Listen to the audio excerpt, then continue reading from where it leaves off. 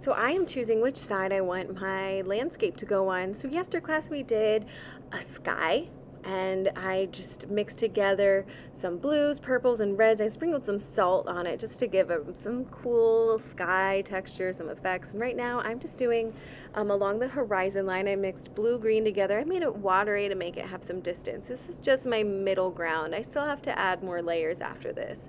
So this isn't the last step. So I'm adding some pine trees. I start off with just like a triangle and then I add some wiggly lines on the edge and then I'm pulling that color down and I'm adding more trees, making some small and some really big. I just really loosely move my brush and you can see that they're not really detailed trees because they're in the distance. I decided to draw a little house and I gave it a little porch just to imagine that this was, you know, having a good time, a little house in the woods. And then I'm going to add some more trees and add some more layers of darkness over this as it dries. This is just my light layer. I'm to um, go over it once it is completely dry and add another layer of trees to um, create depth with this and add some darkness. So again, this is just one option for my landscape project. Add a little chimney to it and I'm putting some water down. I realized I made this chimney really smoky. So um, I'm going to do some reductive painting where I'm adding in some color and some water and then I pull the color off using an absorbent paper towel. And so really, really smoky house. And so it, yeah, lifted the color. So then I had to let that dry for a bit and I flipped it over and I went back to my first colors. I felt like this one was like mountains. Yeah. So I mixed a red violet together to create mountains. And I did look at a picture, so it took me a while to get some inspiration. I didn't copy it exactly, but not all mountains are triangles and they're not all perfect. So I was realizing I wanted some more violet in there, maybe some more blue. The color is going to change though according to what's below your like mountain layer. Like I have yellow below it. I'm putting like a blue over it so it looks kind of green. And my purple over the orange is looking kind of muted like brown but that's okay. I want my colors to be affected by my underlayer of my sky. So I'm making some big ones and then I'm blending that down. I made like a big mountain and I'm lifting that color to create some texture so that it has a rocky feel to it just a little bit. I'm not going too detailed.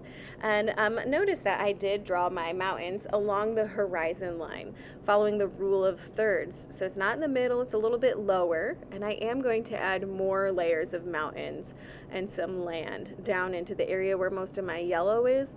But for now, I'm just thinking um, about where I want to put things. Just putting my middle ground in.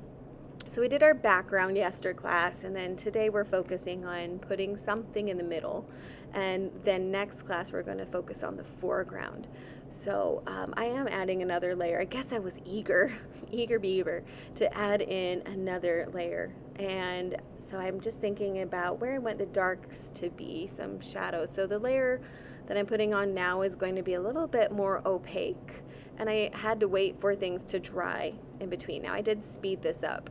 Um, if you put this layer on while it's wet, it's just to bleed in and you're not to have any defined edges to it. So once we add more layers, it's going to show some distance and I'm just to keep on making a bunch of mountains, I think, in this way because I'm feeling the mountains. And again, I make my mountains like triangles and then I add in texture.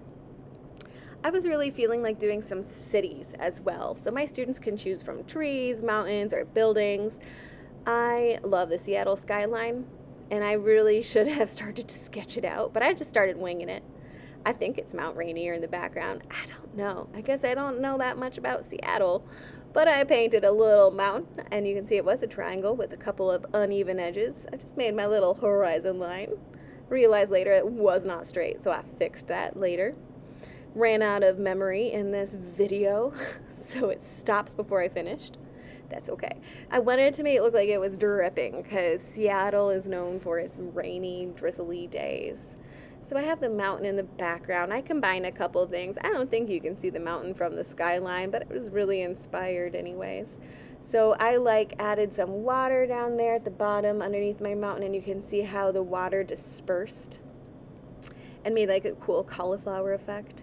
I realized halfway through making my uh, my needle, my Seattle Space Needle, I should have been using a smaller brush. I was using a size 4, so I switched down to a size 2. And now I'm able to get better deets, details.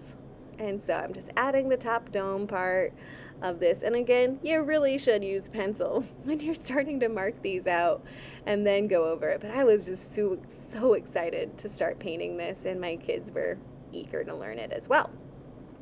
So, also, one thing that I noticed is, ugh, dang it, my hand got in the mountain while it was still wet. I did not wait. I was so impatient today. And so I kind of spread some paint around and I removed that later. And then I'm like, girl, you should put a paper towel under your hand. So I did.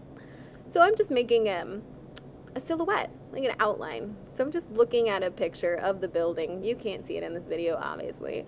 Um, and just think of your buildings as rectangles that build on top of each other. And then I'm adding lines coming off of the sides and I added a triangle on the top of that to give it some texture to the sides of the building to represent the architecture that was built in there. I'm pulling some color down and then I'm going to add a lot of water on it and then I'm going to blow on it and make it look it's dripping. I had to think about what my next step was. Again, I'm using like my size 2 paintbrush and um, or anything really small. I'm just using the tip of the paintbrush when I'm trying to get little details. Um, and if I don't press down hard, I can get really, really skinny lines with just like the few um, hairbrush, like bristles at the tip of the brush it's pretty fun and simple. I don't think I got very far in this one because my students were talking to me and that's why my hand's just chilling there. But we had a really fun day in my painting class. So I was making this painting be very loose, very freeing.